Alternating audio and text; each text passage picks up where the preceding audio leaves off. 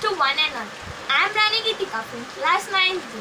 Today, I am here to speak about the importance of Independence Day. We celebrate Independence Day as the national festival of India.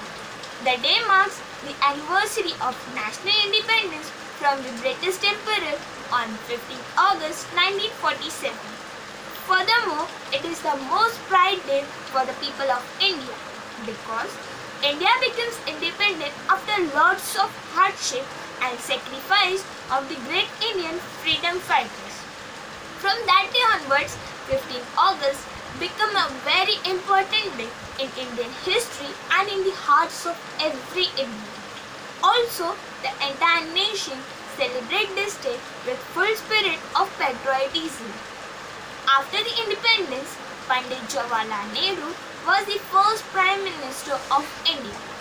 Moreover, he unfurled our tricolor flag at the Red Fort in the national capital, New Delhi, for the first time. From then onwards, every year we celebrate Independence Day at Red Fort, New Delhi.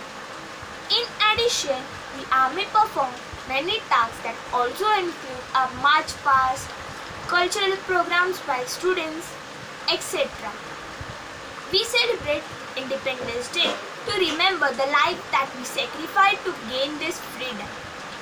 As they are the one who struggle for our country, we, on this day, we forget our differences and unities as a one true nation should.